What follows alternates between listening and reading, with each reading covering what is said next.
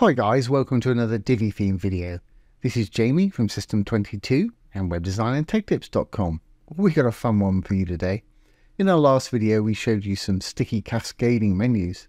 Today we've got an expanding one. I've got a little options button right here. When I click on it, it's going to expand to reveal a menu. When I click on it again, it's going to go back to how it was. And that's a nice little eye-catching feature to have on your site really easy to do. We've got to do a bit of coding for this today, but I've written all the code for you. And if you stick around to the end of the video, I'll tell you where you can get it from. So let's get started. I'm going to enable the Visual Builder.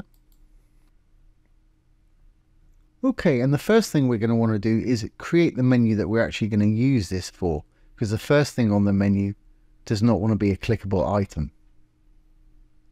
So let's go down to the dashboard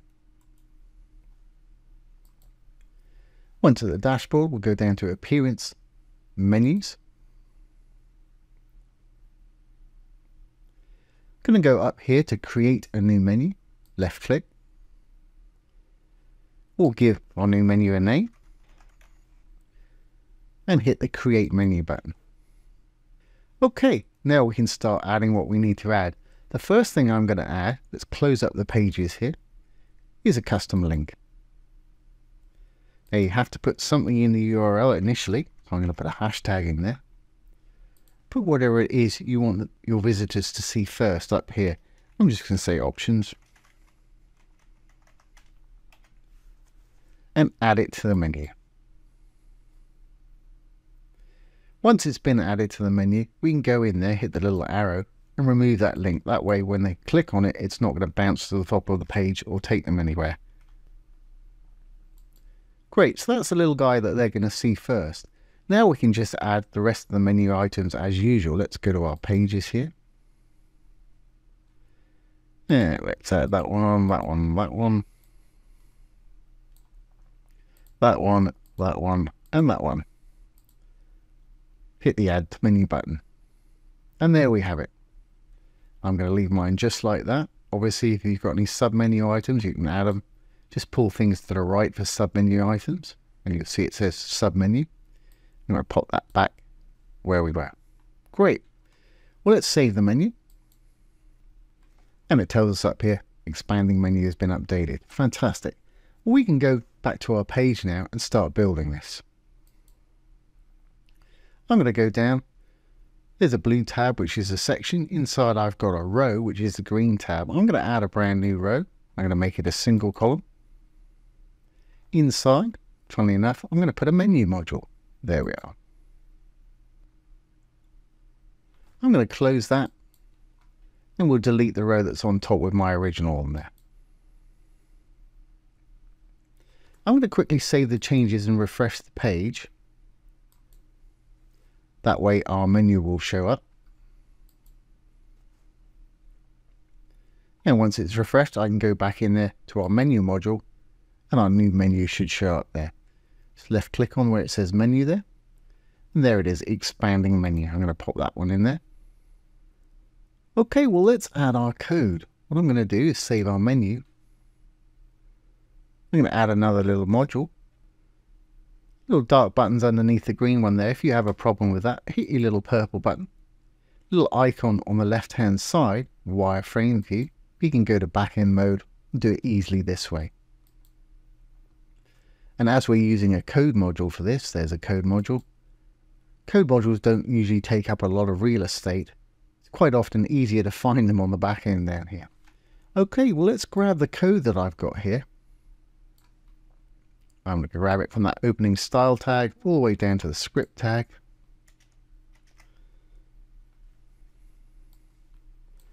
I'm going to paste it in our little code module here. And I'll just walk you through this, won't go into too much detail. We've got some style here, some CSS style we're going to apply to our menu. It's going to give it a fixed width, fixed height, a background color of blue. You can change that to whatever you want to change yours to. In fact, let's change that to a dark grey. Which will be hashtag 242424. The color of the text is going to be white I'm going to have mine centered aligned. If you don't want yours centered aligned, just delete these two lines of code here. And when it expands, it's going to take 0.7 of a second, almost three quarters of a second to actually expand and then go back when you click on it again. And the script down below, we created a function here that when we click on it, it's got to have an ID, CSS ID of my element. I'll show you how to do that in a minute. Let's just copy that my element, Control C. First time you click it, it's not going to be expanded. When you click on it, it's going to expand and become 100% wide. At the minute, I've got it 80 pixels wide. You can adjust this to the size of whatever your first custom link text was. So when we click it, it's going to go from 80 pixels wide to 100% wide, which is 100% of the available parent element that it's in, basically the row. When we click it again, it's going to go back to being 80 pixels. Height, I've got set to 30 pixels because that works for the font that I've got. If you need more, obviously make it deeper, but make sure you make both of them deeper. Initially, I've got the background color set to our 2424 which is right there. And when we click on it, it's going to change to blue. And obviously you can change these colors to whatever you want. Okay, so we've got to give it our little menu an ID of my element right there. So let's save this. We'll go back into the little menu there. I'm going to go over to advanced Let's just flip this back to desktop because you should see it happen instantly when I give it that ID. Once in advanced, go to CSS IDs and classes. CSS IDs, make sure you put it in there and not in the class down below. It was my element. Great. Well, there it is. Put our menus kind of spilling out down here. And I can't read the writing in there. So what I'm going to do, I'm actually going to go into that menu module and give it some initial styles.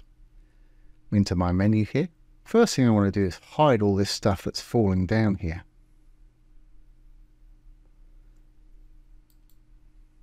So over to advanced, visibility, horizontal and vertical overflow. I'm going to change both of those to hidden. As you can see, disappeared now. And I can't read that text.